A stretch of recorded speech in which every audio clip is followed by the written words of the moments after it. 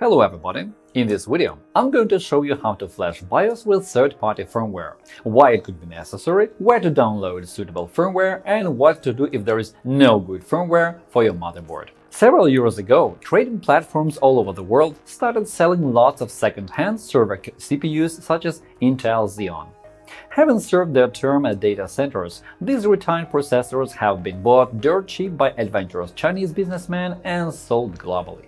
As it appeared, Uh, the popular socket 775, widely used for building home PCs, is very similar to the server socket 771. The only difference is the two contacts that can be replaced easily. Newer CPU models designed for sockets 1336 and 1155 can also be tricked into working properly in motherboards that were never designed for use with server processors. That is why second-hand server CPUs have gained so much popularity. And this is why you may need a piece of third-party firmware to add the microcode for a certain CPU to the BIOS of your motherboard. On our YouTube channel, you can find a detailed video guide on flashing BIOS with standard firmware. Check the link below. Now, we're going to find out how to flash BIOS with third-party firmware. Hello friends! If you need to recover deleted data, view or restore removed browsing history, Hetman Software Products will help you. Follow the link in the description, download the necessary program for free, install it and analyze the disk. The utility will show you the data you can recover, so you'll be able to view it or get it back.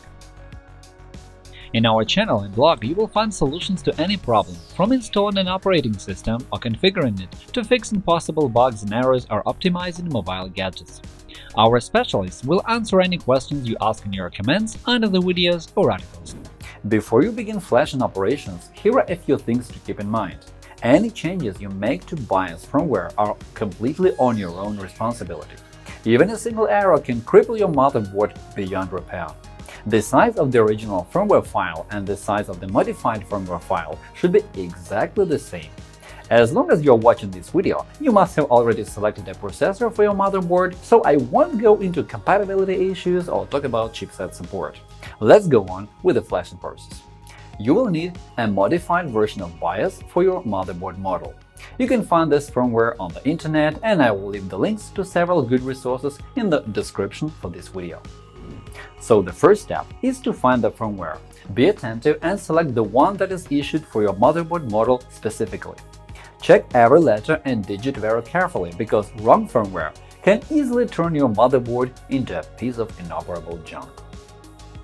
Download the firmware, usually it's an archive containing some files.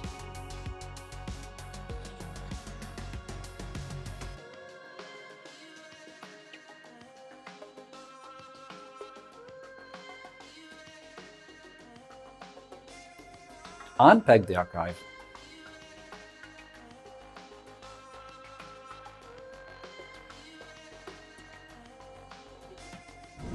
Now, there are several ways to update BIOS. The first is a standard method involving the integrated update module inside BIOS, but it may be unavailable for certain motherboards. To do it, you need to copy the firmware files onto a USB pen drive. Before that, the drive should be formatted in FAT32.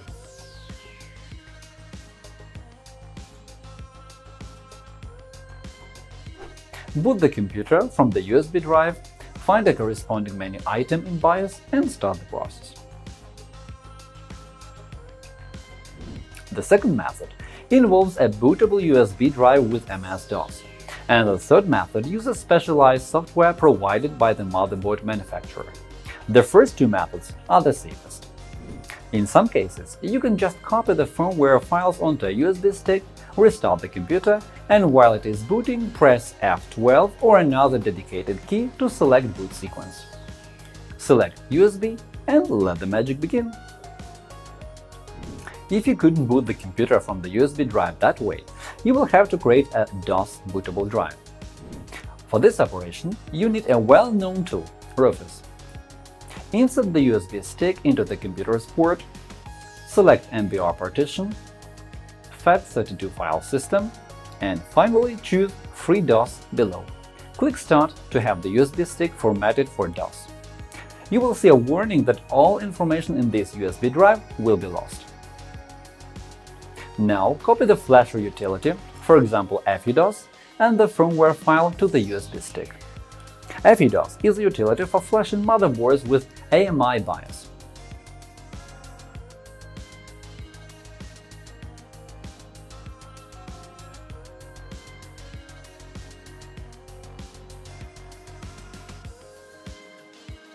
Restart the PC, reset BIOS, insert the USB drive and press Alt plus F8 to boot in DOS. In the command prompt, type the name of the flasher, that is, the program used for flashing, press space, type the name of the BIOS file, it should have the ROM extension, press enter, and then press enter one more time to continue. Wait for the flashing process to be over. That's all. The BIOS has been flashed. Boot the computer and check if it works properly. You can use a specialized tool called CPU-Z to find out if the operating system recognizes the new processor. Actually, the flashing operations are over at this stage. But what should you do if you couldn't find a modified piece of firmware for your motherboard? You can try modifying the firmware yourselves. If you do it right, it's even safer than flashing modified firmware changed by someone else. The point is that you are going to download the standard firmware from the website of your motherboard manufacturer, which guarantees you are working with the latest software and it's free from errors. On the contrary, when you download a ready-made piece of software from third-party resources, there is always a risk of getting bugged firmware and actually destroying your BIOS. Alright, now visit your motherboard manufacturer's website and look for the firmware you need. Use the name and module printed on the motherboard itself. Make sure you download the latest version.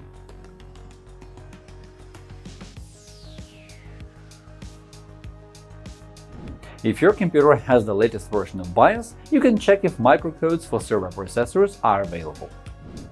Use the utility named Universal BIOS Backup Toolkit to back up your BIOS. Start the program, click Read, wait until the process is over, click OK, then Backup. Give the password to save the file and click Save. To view the contents of the ROM file you have just created, use another tool called AMI BCP. Open the tab BIOS Features, Microcode ID. For modifying the firmware, you will need the latest version of BIOS and one more utility – MM-Tool, and the microcodes you need to add. Unpack the archive containing the microcodes and view all files with the extension bin. Leave only the files the beginning of which coincides with CPU ID of your computer. You can view CPU ID in AIDA64 by opening the tab Computer, Overclock, CPU ID Revision. If your BIOS is in the .exe format, you will have to unpack it first with the archiver program uh, called 7-zip. Now, find a file which ends in bin, rom or something else, for example a digit. If you are flashing BIOS for LGA775, the usual size is about 1000 kilobytes, so look for files of similar size. You can also try opening the file with mm2. If the file is wrong, mm2 will inform you about it. Run mm2, click Load ROM, and upload the latest BIOS for your motherboard into the program. If you have the latest BIOS, you can use the Universal BIOS Backup Toolkit to create a backup copy and make all the changes there. The next step is to load microcodes for Xeon into the BIOS of your motherboard. Run MC Extractor to see what microcodes are available and which of them don't work anymore. Load the latest microcodes. Open the folder MC Extractor after analysis, a directory with the name Intel should appear there. Remove all obsolete microcodes that have the red No word next to them and copy the new microcodes into their place.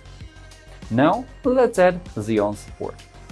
The choice of microcodes depends on a particular processor you are going to use. In my case, the file name is like this, where the code 1067A is the CPU ID for Xeon E54 series processor, and the code PLAT44 stands for LGA771 socket. Copy that file into the folder. Use MM tool to remove all old microcodes. Delete a patch data and replace them with new ones. Insert a patch data. Don't forget to click Apply after each operation. Add a microcode for Xeon. Now the last step to take in flashing is flashing BIOS, and you could see how to do it earlier in this video. After the modified BIOS has been flashed, your computer should recognize the new processor. In some cases, though, you need to use a specialized hardware tool called Programmer for flashing. It's usually required for types of BIOS that allow users to change memory timings and overclock system memory to 2132 MHz. And that is all for now. Hopefully this video was useful. Remember to click the like button and subscribe to our channel. Hit the bell button to receive notifications and never miss new videos. Leave comments to ask questions. Thank you for watching and good luck!